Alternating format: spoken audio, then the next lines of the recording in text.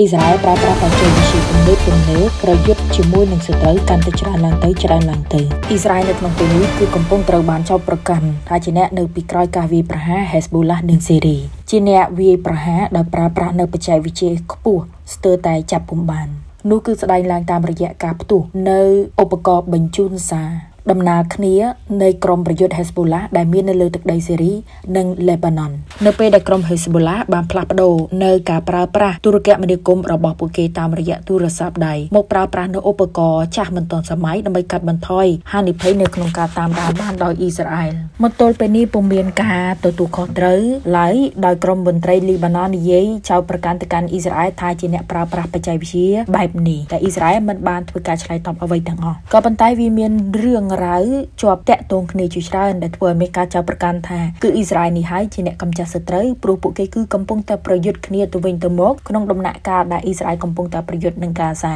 ហើយក៏អ៊ីស្រាអែលខ្លួនគេបញ្ជាក់ថាផែនការថ្មីរបស់ពួកគេក្នុងដំណាក់កាលនេះគឺក្នុងការកម្ចាត់ក្រុម Hezbollah ក្រុមអ្នកជំនាញសន្តិសុខបាននិយាយមិនបញ្ចេញឈ្មោះប្រាប់ទៅកាន់សារព័ត៌មាន Sky News ឲ្យដឹងថាឧបករណ៍ដែលត្រូវបានប្រើប្រាស់នោះគឺជាឧបករណ៍ដែលត្រូវបានចែកឲ្យប្រើប្រាស់ជាឧបករណ៍ដែលមានការបង្កប់នៅការផ្ទុះនៅខាងក្នុងពួកវហើយធ្វើការកំណត់ការផ្ទុះពីចម្ងាយហើយជាមួយនឹងការផ្ដល់សញ្ញានៅក្នុងការបញ្ជូននៅឧបករណ៍ Packer នោះតែម្ដងវាធ្វើឲ្យមនុស្ស50នាក់បាត់បង់ជីវិតក្នុងរយៈពេលត្រឹមតែ24ម៉ោងតែប៉ុណ្ណោះហើយវាធ្វើឲ្យក្រុងបេរុតទាំងមូលមានការភ្ញាក់ផ្អើលជាខ្លាំងនិងពំនឹកដល់ថា Packer ដែលគ្រាន់តែជាឧបករណ៍មុនទូរស័ព្ទដៃដែលមិនសូវមានគេប្រើប្រើតាំងតែពីចំនួនឆ្នាំ1980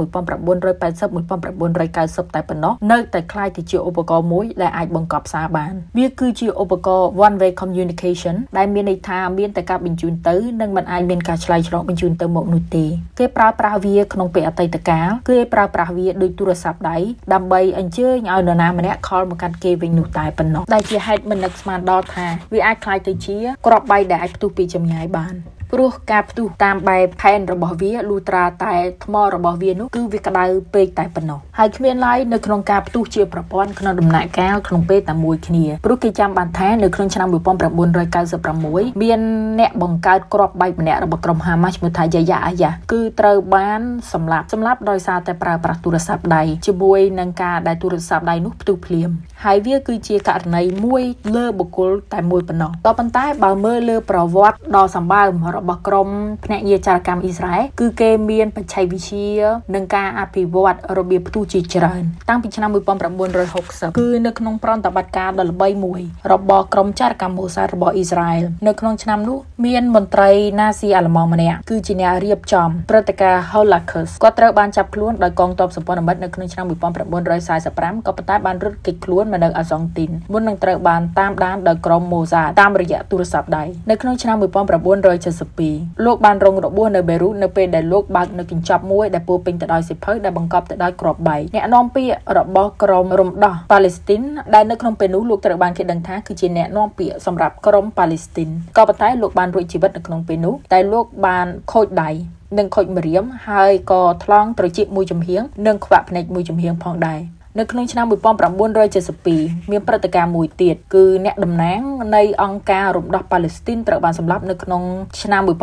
1972នៅទីក្រុងប៉ារីនៅពេលដែលមានគ្រាប់បែកត្រូវបានបង្កប់ទុកនៅក្រោមទូរស័ព្ទដៃហើយនឹងត្រូវបានផ្ទុះភ្លាមភ្លាមកាយ៉ាយ៉ាលោកម្នាក់នេះនៅឆ្នាំ1996ត្រូវបានគេធ្វើឃាតលោកបានមានឈ្មោះថាជាវស្វករ ហើយលោកបានជួយនៅក្នុងការអភិវឌ្ឍនៅក្របបែកអត្តឃាតដែលប្រើប្រាស់ដោយកងកម្លាំងអ៊ីស្រាអែលប៉ាឡេស្ទីននៅក្នុងឆ្នាំ2000សាមីម៉ាឡាប៊ីគឺជាសកម្មជនហ្វាតាមរុកមកពីជំរំជនភៀសខ្លួនកាឡាឌៀនដែលស្ថិតនៅខាងក្រៅរ៉ាម៉ាឡាត្រូវបានសម្លាប់ដោយទូរស័ព្ទដៃដែលមានអន្ទាក់មួយមានការផ្ទុះនៅពេលដែលលោកដាក់នៅចិត្តត្រចៀករបស់លោកតែប៉ុណ្ណោះនៅក្នុងឆ្នាំ2007មាន Sputnik មួយដែលជាកម្មវិធីត្រូវបានរចនាឡើងដើម្បីបំផ្លាញនៅឧបករណ៍ចម្រាញ់សារធាតុអ៊ុយរ៉ាញ៉ូមរបស់អ៊ីរ៉ង់វាគឺជាការបង្កប់នៅដង្កូវមួយដែលចូលទៅដល់អាគារហើយធ្វើឲ្យខូចខាតដល់សម្ភារៈនិងឧបករណ៍ប្រើប្រាស់ទាំងឡាយនៅក្នុងរោងចក្រនោះវាត្រូវបានរៀបចំឡើងដោយទីភ្នាក់ងារអ៊ីរ៉ង់ដែលបម្រើការឲ្យអ៊ីស្រាអែលនៅក្នុងឆ្នាំ2020អ្នកវិទ្យាសាស្ត្រនុយក្លេអ៊ែរអ៊ីរ៉ង់ម្នាក់ត្រូវបានសម្លាប់នៅលើទឹកដីអ៊ីរ៉ង់តែម្ដង ដោយកំភ្លើងយន្តគ្រប់គ្រងពីចម្ងាយនៅរថយន្តរបស់លោកបរិះរូបនោះត្រូវបានល្បីឈ្មោះណាឈ្មោះថា Farizadeh ធ្វើដំណើរដោយរថយន្តដែលមានការការពារមិនឲ្យមានក្របកំភ្លើងបាញ់ចូលបានក៏ប៉ុន្តែនៅតែក្របកំភ្លើងបាញ់ចូលបានដោយកំភ្លើងនោះគឺជាកំភ្លើងយន្តដែលបញ្ជាពីចម្ងាយនៅក្នុងឆ្នាំ2021អ៊ីរ៉ង់បានចោទប្រកាន់អ៊ីស្រាអែលនៅអ្វីដែលគេយល់ឃើញថាជាការវាយប្រហារមកកាន់អាគារនុយក្លេអ៊ែរក្រោមដីរបស់ពួកគេអ៊ីស្រាអែលមិនបានផ្ដល់ការអះអាងឬទទួលខុសត្រូវនោះទេក៏ប៉ុន្តែអ៊ីរ៉ង់បានរីកាថាមានការវាយប្រហារដោយប្រព័ន្ធអ៊ីនធឺណិតធ្វើឲ្យដាច់ភ្លើងនៅណាតាស់ក៏ដូចជានៅតំបន់នៃការចម្រាញ់សារធាតុអ៊ុយរ៉ាញ៉ូមឥឡូវនេះបច្ចេកវិទ្យាមួយទៀតរបស់អ៊ីស្រាអែលគឺកំពុងតែមើលទាញយកការតាមដានលើស្ថានភាពនៅតំបន់មជ្ឈិមបូព៌ានោះគឺការប្រើប្រាស់នៅក្របបែកសំឡេងក្របបែកសំឡេងគឺកំពុងត្រូវបានអ៊ីស្រាអែលប្រើប្រាស់ជាយុទ្ធវិធីចិត្តសាស្ត្រសង្គ្រាមគេបានមើលឃើញថានៅពេលដែលមេដឹកនាំហេបូឡាស់មួយរូបឈ្មោះថាហាសាណារ៉ាឡាបានថ្លែងសន្ទរកថានៅទូរទស្សន៍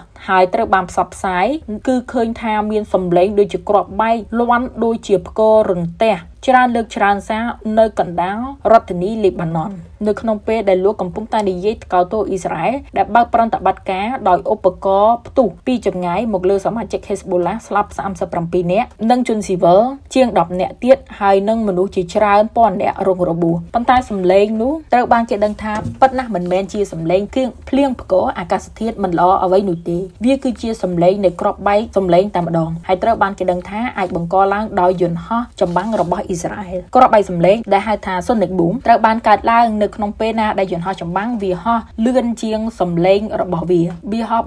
343ម៉ែត្រក្នុងរយៈពេល1វិនាទីឬ1គីឡូម៉ែត្រនៅក្នុងរយៈពេល2.91វិនាទី វាលឺលាន់ខ្លាំងដូចជាការផ្ទុះក្របបែកអញ្ចឹងហើយកងទ័ពលីបាណុនបានកត់សម្គាល់ថាសម្លេងនេះតែងតែកើតមានឡើងនៅក្នុងពេលដែលមេដឹកនាំហេសប៊ូឡាខ្លាញ់សន្ទរកថាប៉ុន្តែនៅពេលដែលគេពិនិត្យមើលគឺថាมันមានឃើញឧបករណ៍ណាដែលចាប់សញ្ញាណនៃសម្លេងនោះបាននោះទេសម្រាប់បច្ចេកវិទ្យាបែបនេះគេឃើញថាមានទាំងសហរដ្ឋអាមេរិកផងដែរដែលប្រើប្រាស់ក៏ប៉ុន្តែក្របបែកសម្លេងគឺត្រូវបានហាមឃាត់ដោយមិនឲ្យមានការប្រើប្រាស់បើសិនជាគ្មានអាជ្ញាប័ណ្ណឬក្នុងកលៈទេសៈអ្វីក្រៅតែពីការធ្វើសម្ពយុទ្ធយោធាព្រោះថាក្របបែកសម្លេងនេះក៏មានផលប៉ះពាល់ខ្លាំងសម្បើមដែរព្រោះថាសម្លេងនេះអាចធ្វើឲ្យខូចបង្អួចរង្គើអគារទីខ្ទីសម្ភារៈឧបករណ៍នានានៅក្នុងលំនៅឋានរបស់ប្រជាជន ដែលពុំមានភាពរឹងមាំប៉ុន្មាននោះក៏ប៉ុន្តែលើសពីនេះទៅទៀតវាគឺជាការបង្កការភ័យរអាខ្លាំងព្រោះសម្លេងរបស់វាហាក់បីដូចជាមានអ្វីផ្ទុះវាគឺជាការបង្កការភ័យខ្លាច ដល់ផ្លូវចិត្តខ្លាំងនៅពេលដែលយើងហាក់បីដូចជាគិតថាមាននៅយន្តហោះចម្បាំងដែលកំពុងហោះមកកាន់រដ្ឋធានីរបស់យើងហើយបន្ទាប់មកយើងគិតថាវាកំពុងតែទម្លាក់ក្របបែកហើយជាពិសេសវាខូចដល់សតិអារម្មណ៍ដល់ប្រប្រជាជនលីបាណុនដែលប្រជាជនលីបាណុនថានៅក្នុងប្រវត្តិសាស្ត្ររបស់ពួកគេគ្រប់ចំនួនទាំងអស់គឺរស់នៅក្នុងសង្គ្រាមមួយយ៉ាងហោចណាស់ដោយនៅក្នុងឆ្នាំ1975 1990ប្រទេសហែកហួរដោយសង្គ្រាមស៊ីវិលមនុស្សជាង150,000នាក់បាត់បង់ជីវិតក្នុងឆ្នាំ1982អន្តរាគមន៍យោធារបស់អ៊ីស្រាអែលលុកលុយចូលលីបាណុនកាន់កាប់រដ្ឋធានីបេរូតអស់រយៈពេលជាមួយឆ្នាំហើយទើបមានការឆ្លើយតបដោយការបង្កើនកម្លាំងរបស់ក្រុម Hezbollah កងទ័ពអ៊ីស្រាអែលនៅលីបាណុនភាគខាងត្បូង22ឆ្នាំរហូតដល់ឆ្នាំ2000នៅក្នុងឆ្នាំ2006 1200នាក់នៃលីបាណុននិងកងទ័ពអ៊ីស្រាអែលបានប្រយុទ្ធគ្នាស្លាប់ក្នុងសង្គ្រាមរយៈពេល5សប្តាហ៍នៅក្នុងឆ្នាំ2020ឃ្លាំងមួយដែលមានផ្ទុកនៅ សារធាតុក្របរំសាវដល់ទៅ3000តោនឯណោះត្រូវបានកំទេចហើយធ្វើឲ្យខូចខាតដោយកំពង់ផែនៅបេរុតដូច្នេះប្រជាជនលេបាណុនគឺតែងតែឮនៅសំឡេងដែលធ្វើឲ្យប៉ះពាល់ធ្វើឲ្យពួកគេភ័យព្រួយរហូតដល់ធ្វើឲ្យពួកគេមានជំងឺ PTSD នៃការបាក់ស្បាតនិងប៉ះពាល់ដល់ផ្លូវចិត្តរបស់ពួកគេសឹងតែគ្រប់បែបយ៉ាងទាំងអស់